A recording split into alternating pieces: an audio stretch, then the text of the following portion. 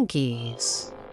Of all monkeys in the world, proboscis monkeys from the jungles of Borneo would have to be some of the most unique. When you see their faces, you'll understand why. They get their name from the male's long, drooping nose, which looks less like a nose and more like something else. These monkeys are red to brown in color with white underparts, and females have smaller noses than males. When they're born, the nose appears more upturned. They eventually grow into it, obviously. These monkeys can weigh up to about 44 pounds, with females typically half of that weight, and they're up to about 28 inches long. They all live in groups of about 20 near swamps, coastal mangroves, and rivers, with those groups made up of a single male and over a dozen females. Typically, males live in bachelor groups before many find females to form groups with. Unlike other monkeys, proboscis monkeys can wade through the water in an upright position, which basically makes them bipedal. They can even jump from trees and belly flop into the water, and have developed webbed feet and hands over the years to help them get away from crocodiles, which are their main predators.